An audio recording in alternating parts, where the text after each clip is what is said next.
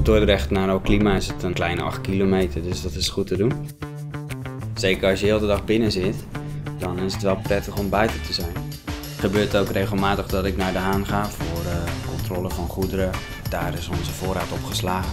Ik heb dagelijks intensief contact met hen. Dus op het moment dat je bepaalde dingen wil uitzoeken of bespreken, dan is het sowieso handig om face-to-face contact te hebben daarover. Niet alles staat daar. Een aantal spare parts liggen ook hier bij Alklima in ons eigen magazijn. Op kantoor neem ik plaats achter mijn bureau en dan is het veel mailen en bellen. Je ziet elke dag de goederen die eruit gaan, welke omzet dat met zich meebrengt. En ik ben nog wel eens een cijferfreak, dus uh, ik vind dat wel fascinerend om te zien altijd. Mijn naam is Martijn van Pelt. Ik doe de ordeverwerking bij Alklima sinds 2007.